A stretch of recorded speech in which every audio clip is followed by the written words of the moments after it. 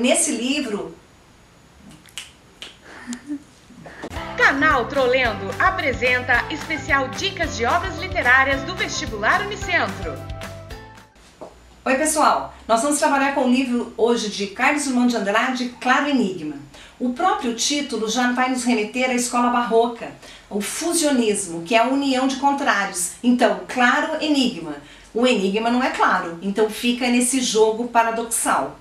Nesse livro, o Drummond vai falar das suas inquietudes diante do, desse século XX que estava na primeira metade. Então, o tom é bastante autorreflexivo e filosófico. O livro contém 41 poemas e é dividido em seis partes. Das características principais desse livro é o retorno ao modelo clássico de poesia. Nós sabemos que com o modernismo o verso livre veio à tona.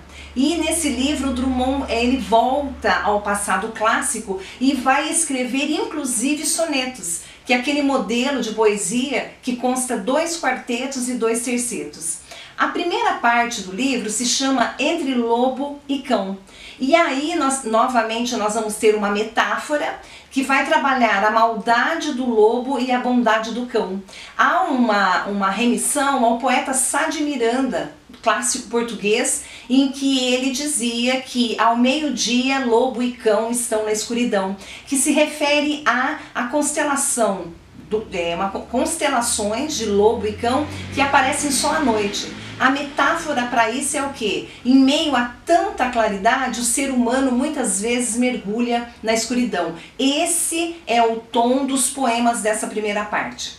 Na segunda parte, Notícias Amorosas, nós vamos ver um, um Drummond trabalhando com amor, com a temática amor. Mas não é um amor romântico, é um amor essencial. Todas as pessoas necessitam do amor para sobreviver. Mas aí, tratando-se de Drummond, há uma, um aspecto muito negativo ligado a esse amor. E ele diz que esse amor é natural, todas as pessoas o sentem. A terceira parte do livro Claro Enigma traz como título Menino e os Homens. Aí é um processo bastante interessante, porque do, o eu lírico do, dos poemas é o menino. E esse menino vai fazer homenagens a poetas que Drummond gostava muito, que eram seus amigos, inclusive. Mário de Andrade, Mário Quintana e Manuel Bandeira. Então ele homenageia esses poetas nessa parte do livro chamado Menino e os Homens. Na próxima parte, se chama Selo de Minas. Nesse aspecto, o Drummond né, ele vai trabalhar com a sua terra natal, Minas Gerais. Então os poemas trazem uma retomada de Drummond nas Minas Gerais. No entanto, não tem um tom de saudosismo apenas. Esse saudosismo é bastante crítico. Ele vai focar numa crítica social a respeito do seu estado natal. Na quinta parte, nós vamos trabalhar com a temática lábios cerrados que se refere à morte. Então ele vai fazer uma homenagem à sua família, aos seus parentes que morreram. Então um tom bem saudosista também, bem reflexivo, porque a, os poemas vão nos dizer o que importam são as memórias dessas pessoas que já partiram.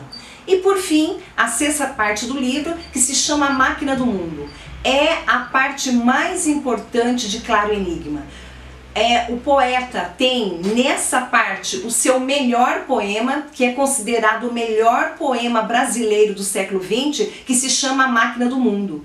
Aí vale nós pararmos um pouquinho e falar sobre o poema. É um poema que é escrito em tercetos, então são sempre três versos, e que vai retomar o capítulo 10 dos Lusíadas, é, chamado A Máquina do Mundo. A diferença que nós vamos ter é que o poeta, ele, é, o eu lírico, ele vai caminhar por Minas buscando desvendar os segredos do mundo. Lá na, nos Lusíadas nós temos Vasco da Gama.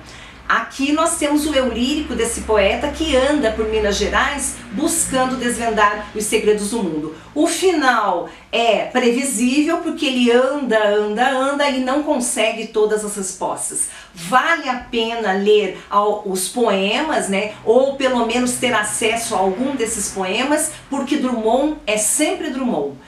Se inscrevam no nosso canal. Até a próxima!